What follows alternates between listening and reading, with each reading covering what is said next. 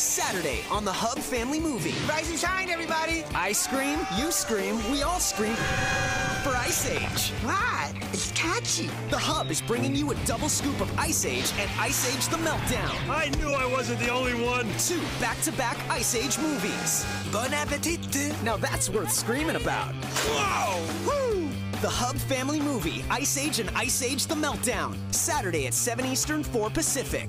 It could happen only on The Hub.